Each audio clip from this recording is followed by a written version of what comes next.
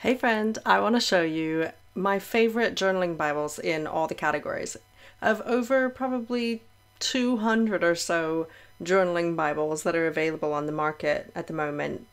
Uh, maybe it's 150, but I think it's close to 200. I've done a lot of investigating into journaling Bibles over the years, and there is so many options. And I've got a great guide, the, my complete journaling Bible guide. is super comprehensive and it goes into a lot of detail grouping the different journaling Bibles by certain classifications. So, whether it's white paper, cream paper, the words of Jesus are in red, whether it's a certain translation, whether it has line art or coloring, or whether it's for a certain audience, like for children or teens or anything in between. It is very, very comprehensive. And so I'll link that if you're watching um, somewhere besides in the guide, you definitely want to pop in um, and find that link and head over there. You can actually just look at my favorites though. And of all the categories and the different translations that you can get and different features, these are some of my absolute favorites right in front of me. And so I want to show you through them and show you why I like them and then also just point out that this is not all the covers that these come in. So many Bibles are created mm, one certain Bible and then they cover it with several different covers depending on which publisher. And so you can also find it in a range all the way from just paperback and, and really cost effective all the way up to like a really beautiful natural leather and uh, heirloom quality. And it depends on which one and uh, what options. So every Bible is a bit different, every publisher is a bit different, the paper thickness is different, and all these things matter. But if you are looking for my favorites because that all feels so overwhelming, then this is the place for you. So I'm going to show you through my favorites. Let's get started. If this is useful to you, please do give this video a like and that will help the algorithms know to share this with others who might find it useful. So you can support me in that way and also consider subscribing so that I can continue to help you. And with that, let's get started. All time favorite of all of these, if I had to choose, would be this one right here. And this one is it doesn't come in this style. It actually looks just like this when it comes. And it, doesn't have any of this on the outside either.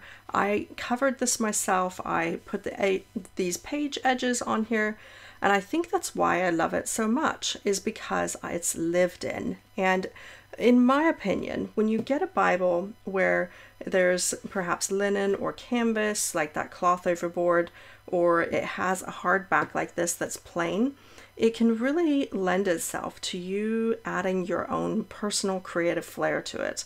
Now, my YouTube channel has details on how you can actually do the the page edges and to alter the cover. And so you can search for those on my channel if that's something that you're interested in.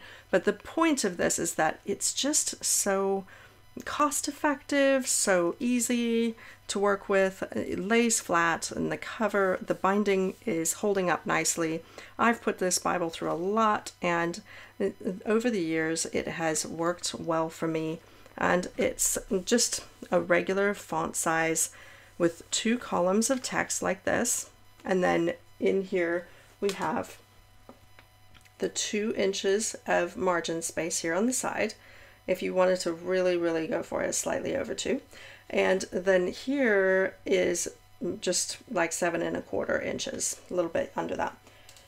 And that is the original journaling Bible. it is the Bible that was mm, able to help popularize and serve the Bible journaling movement when it was all getting going and starting. And it is so much fun. I've had a lot of fun with this Bible, and it's got a little thing here that is elastic that's in the binding, and so it will actually just flip right over here and sit on the top and hold it all together. And you can see it's kind of warping a little bit, but it's actually fine. It holds well and is a great Bible. Very lightweight and can easily be taken with me. I just bought myself a little cloth pouch put it in there to zip it up and keep it safe, and I take it lots of places with me. You can see the binding is just holding up well. So that's my all time favorite, and I'll link to these over in the guide. So that's a black hardcover ESV journaling Bible, real favorite, and this is the uh, double column. Now, let's look at the other, well, actually, let's look at this one next. If you don't like that and you want something a little bit better quality, you can actually get this one here, which is the exact same Bible in a different cover. And this one is the natural leather with a flap here. And the thing that is so cool about this is not that it's just so lovely and that you you know you've got all of this going on in here it's the same ESV Bible when you lay it down you can actually set this to one side while you're doing your creativity on the other side. And it is a really lovely Bible but the coolest part of this is that if you do lots of creativity where you start to fill your Bible with extra bits like tags and different inserts and overlays and tip ins and different things like that, and your Bible suddenly gets this thick, it's difficult to get one of these bands onto it. But a leather flap like this holds that all in place, and then you can just wrap around with this when you're closing it, and you can basically force everything to stay closed and intact right in there, no matter how big it actually gets. So, from my perspective, this is going to last me a long time also because this natural leather, as you can see, the patina is great, but every time I, you know, I move my finger along it, it just marks it a little bit. And over time, it's actually just become more and more lovely because it's aging with time really well and it has a little loop here. So this is ESV. It doesn't have any of the words of Jesus in red or anything like that, but it's just average cream paper lines in the side and this is basically the same with all of their journaling Bibles and you can see here's an example of something I've created in there. I really have enjoyed these Bibles, and you can still see all of the words even through this. It's um, a great black color that can do well when you're tinting the, the space. And so it is a really lovely Bible, whether you get something that is this kind of heirloom quality, lovely investment that's sort of a gift for yourself or others, or if you want to get something that you can kind of make your own that is hardcover like this. Both of those are absolute favorites of mine, and I do really, really enjoy them.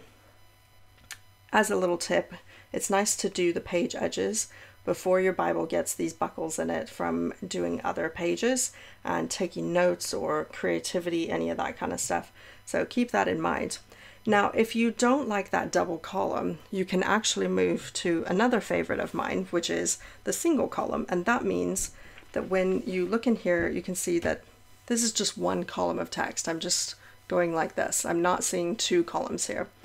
And if you are in Psalms here, uh, with all of these, there can sometimes be, you know, like this is nearly two and three quarter inches of space. And here at its best, it is actually three and a quarter inch of space, which is really lovely.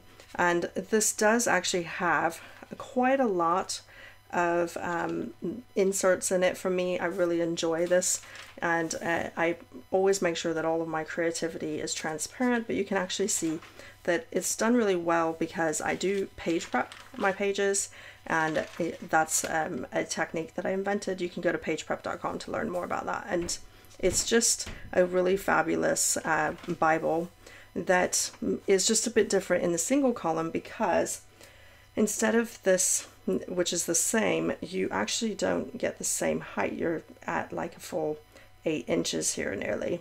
And so that gives you just a little bit extra space in these. And all of them come at the very back with a little Bible reading plan, which you can use to get you through the Bible in a year. So that is a really lovely one. This is this with this is a chestnut with leaves and you can see those leaves. It's just so lovely. So this is not leather. It's uh, sort of a cost effective alternative um, that has that flexibility and softness when you open it up and it lays flat uh, just nicely. So that's a favorite of mine in single column. Now, if you want single column, but you just really want to be able to read these Bibles, then a favorite of mine is this one here, which is the single column. And no, this is not just a Crossway promotion here. I do really love their Bibles, uh, but we're looking at other ones too. I just want to kind of group these together for you. So we've looked at, at some of my absolute favorites, and they are uh, really some some great ones from Crossway, but this one here, I can show it to you brand new. It's a single column journaling Bible, but it's large print. And this particular cover is not always available, but it is sometimes, and it's really lovely. It's the exact same one as this natural leather flap one. This particular cover, there's a few covers out there, but I wanted to show you when it comes, it comes like this, and it has um, a little thing here with some instructions and it shows you how to do this so that you can get it set up for yourself the way that you would like to have it. And then when you open this up and you pop it open and you look in here, you can see that the text is just much bigger. And this has a little bit larger space with nine and a quarter inches tall. And it is the same sort of two inch with just a tiny, tiny bit extra width. So really lovely Bible, same exact translation and types of pages in there, but you're just getting a little bit bigger text. And then it comes in a range of covers as well. And that's their large print version. But let's move on to another type of Bible that is from another company that's large print, which actually at the moment doesn't come in hardcover, but there's one that comes similar to this style here with the, the flap is the Journal the Word Bible. And they have a few different things. They also in different covers, but they do have some large print ones as well. The interesting thing about these, uh, the hardcover isn't available at the moment, but there's I, I always update my guide with whatever there is. So whatever you're seeing here may not be what I would recommend and that I think is the best. So definitely um, check out the guide for all of that information. So Journal the Word, they come in New King James Version, King James Version. Sometimes they have NASB. They have a different uh, set of translations from time to time and so depending on the cover, it will look kind of like this. So it has a little bit of a faint line here and the text is comfort print and the large print is really uh, quite easy to read. And then this is eight inches tall with uh, two inches wide of space. And these have basically almost nothing to speak of on the back except for a couple of notes and then the contents at the front. So it's pretty straightforward, not a lot going on here except for the text and the space itself.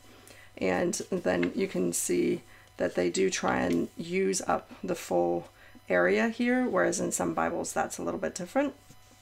And this has cream paper with those faint lines. So it, it it depends on which covers. Go have a look at those and see what works for you. Here is another cover that's not in large print, which is a really lovely one. In They use this comfort print that makes it a lot easier to read. And of course, all the journal ones are lay flat and have really, it says that it's 8 point font, but it's actually, it feels easier to read because of the comfort print as well, which is a really special thing. This is cloth overboard, this particular one with that beautiful gold in it. And then page edges ready for you to do something with if you want. And then when you come in here, there is some good space and the pages just have, you know, that average size of um, font, but it's not too small. And then here is eight inches tall by two inches wide. And I really like Journal of the Word for a couple of reasons. One specifically, um, other than these really nice satin things here is you can see that the words of Jesus are in red, which is a really lovely feature if that's something that matters to you. And Journal of the Word has that along with their comfort print across all of their journaling Bibles that are called Journal of the Word. And so they have a whole collection of them and a link to all of them. Um, but you want to be looking for your favorites. Um, then I'm going to link to my absolute favorites. And, and this is a way that you can get a King James Bible. Uh, there's a few different covers that they come in for different types of tastes and interests. And then you can actually get that translation that you're after and the words of Jesus in red with easy to read, or you can bump it up to the large print and see what options they have there. So those are really good Bibles. I really like them. And Thomas Nelson, as well as Crossway, have one of these interleaved Bibles in, in different covers depending on which one you're looking at. This is an example from Crossway comes in a box here that's a little heftier. The one from uh, Thomas Nelson, uh, the journal, uh, theirs is just a cover that you would toss. And this has this linen, uh, it's kind of the same for both of them that I've got. And an interleaved Bible, when you pop it open, it's just like this, where there's text on both sides and then there is blank on both sides. Text on both sides, blank on both sides.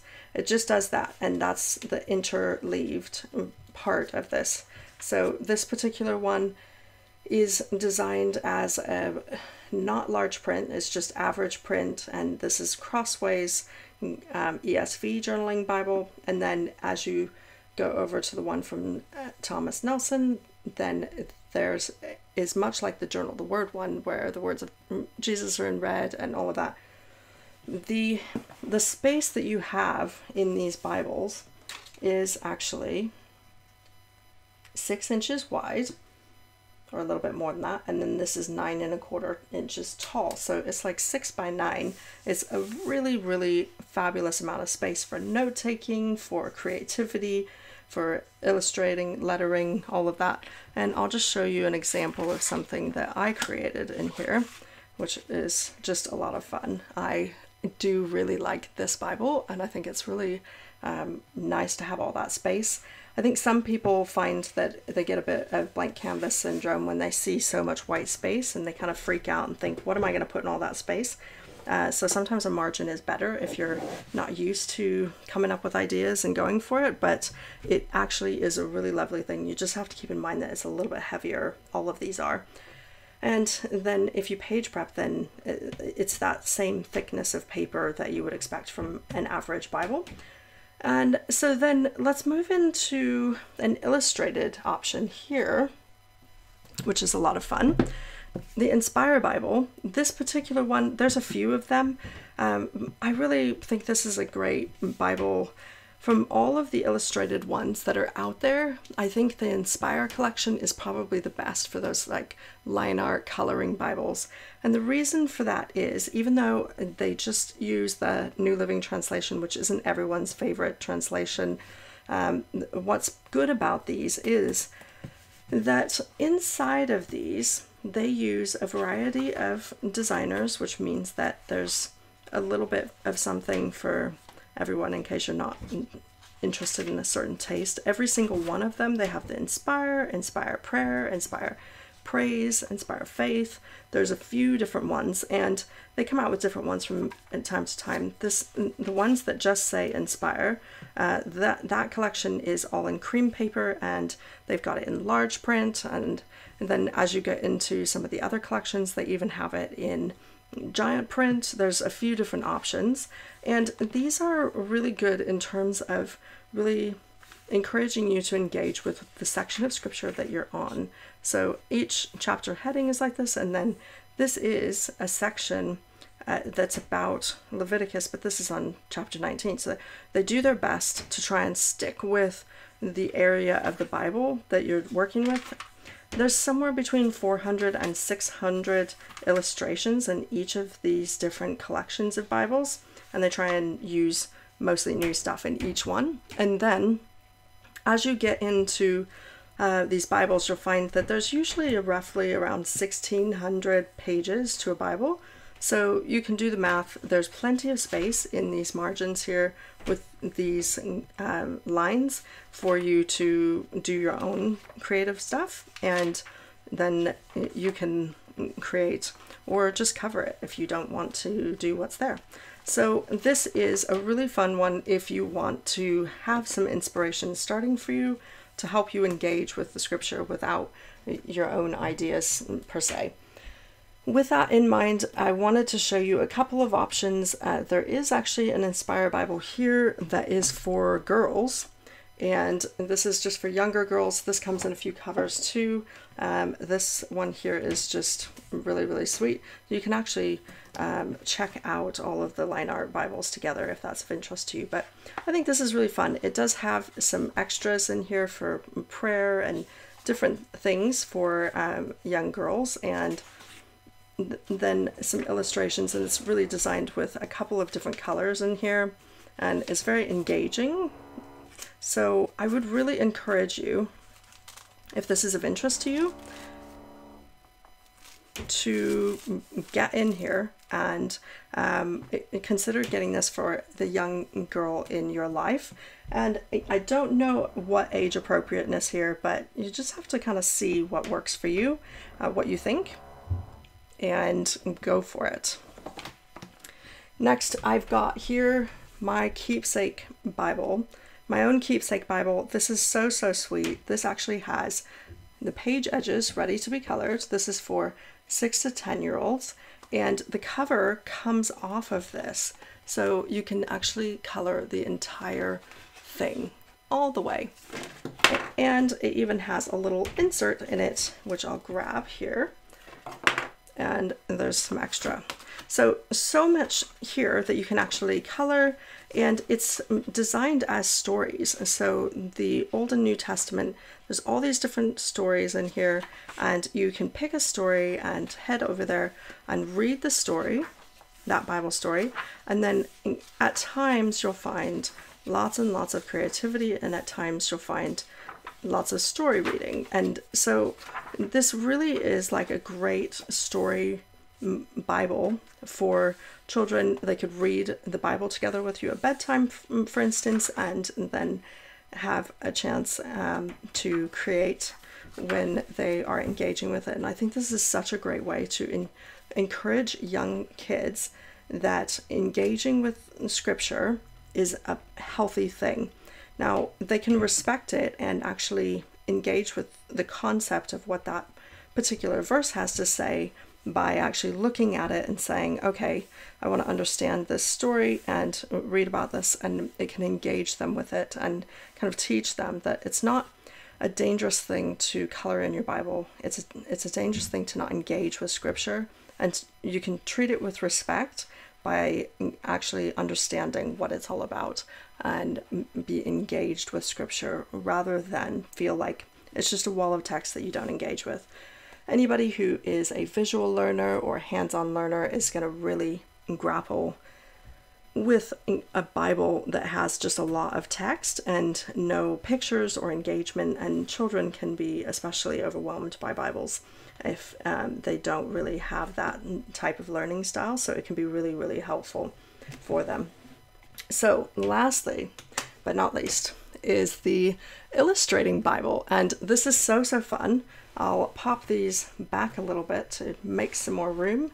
This is a great square Bible that comes in a few covers, and this particular one has the Christian Standard Bible. I've got a few inserts in mind with tabs and different things going on here, and each one of these has just so much creative space, and you can actually see each book of the Bible starts out with some text there, and right here where there is a really, um, you know, like a poetry or music or any any of the things that are not just a story in the Bible, you're going to find that instead of the typical four inch or three and three quarter inch width, you can have all the way up to six inches of space in there, which is incredible. So they've spared no paper and they've just let you have it. And here is nine and a quarter inches uh, tall. So really, really lovely. This Christian Standard Bible does not have the words of Jesus in red. It's white paper, kind of off white, and it has average size text and is really just lovely for helping you engage with scripture with huge amounts of space to do whatever kind of note taking or creativity you want. And these are from Dayspring, they're just absolutely lovely. And, and then with that, they sometimes come out with other ones here. Like I've got the Book of Luke um, that they don't do anymore because they're doing the Gospels, and this is Matthew, Mark, Luke, and John together. And so this is a little bit smaller. The coils on here are really good, and with all of these, you can actually take it and go to a page of interest and then flip this all the way around and just have what's in front of you, which is really, really handy. These smaller ones that are for a specific book, like this is the Gospels, this one is Psalms and Proverbs, they are much thinner and smaller in comparison to the full Bible. And as a result of that, they can actually handle having larger print. And so if you want to go for something that's a bit more cost effective to try out and you want that extra space, and maybe go in that section and do a devotional or study through that section. You can have all that note taking space, all of those areas to create in, and as is typical um, space, there's like four inches of good space there, which is really, really wonderful. And of course, in Psalms and Proverbs, almost all of it has a lot extra space. And so these are really, really wonderful. I love it. I think it's fantastic and I do like the bigger print in these smaller ones so periodically they just come out with different collections and I'll keep it up to date in my Bible guide so check it out have a look and see if anything in particular is of interest and if you are on YouTube watching this or wherever you're watching this if you can pop into the comments if you've had any experience with any of these would you let others know let me know what is your favorite and what of these do you have some experience with it, you can share a review in the comments below. If you've got a favorite, let us know what it is. And please, please give this video a like and consider subscribing. I would absolutely love to support you moving forward. And then pop into the link to get into the guide and find what works for you and think about others what could be a good gift for them for a birthday or a special occasion or perhaps a baptism or Christmas or anything like that that you may want to give a gift to someone, then this may be a really easy way for you to pick something. Can just pick one of my favorites and think about one of the features that is best for them. Find a cover that you like the look of, and away you go. Uh, you won't even need to be bogged down by choice uh, because this is really some of the best of the bunch uh, and it reflects a few different publishers, a few different styles, and uh, um, different needs like large print, red letter, whatnot. So I hope you found this helpful. I will see you in the next video. Take care. You are loved.